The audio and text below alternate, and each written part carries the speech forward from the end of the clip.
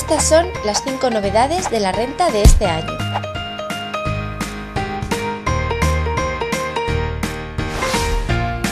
Adiós al programa padre. Hola al sistema renta web.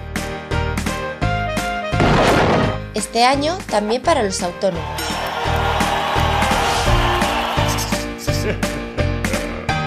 Es 100% online y accesible desde cualquier dispositivo. Con él podemos confirmar el borrador y completar la declaración. Rectificar errores.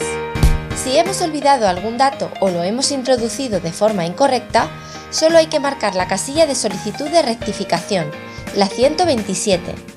Funciona como si se mandara un escrito.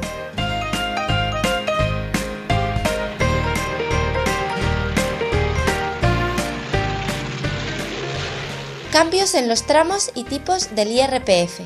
Sobre el salario se aplican tipos de entre el 19 y el 49% y sobre las ganancias del ahorro se aplica un gravamen de entre el 19 y el 23%. El contribuyente puede compensar sus pérdidas patrimoniales con las ganancias integradas en la base del ahorro. Es tan fácil como restar las pérdidas a las ganancias para tributar solo por las ganancias reales. Por ejemplo, si ganaste 1.000 euros con un fondo pero perdiste 200 euros al vender acciones, es como si solo hubieses ganado 800 euros a efectos del impuesto. Y la pregunta del millón, ¿tributan las devoluciones por las cláusulas suelo? No, con una excepción, si se utilizó el dinero para deducirse por la inversión en vivienda habitual.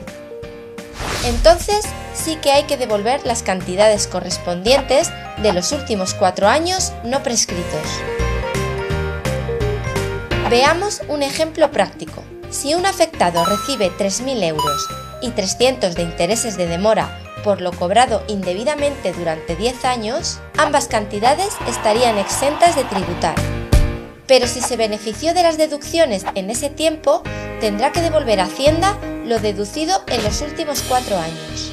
Ahora bien, es posible evitar la regularización si se pacta con el banco utilizar estas cantidades para amortizar el préstamo y solo hay que devolver lo deducido indebidamente los últimos cuatro años.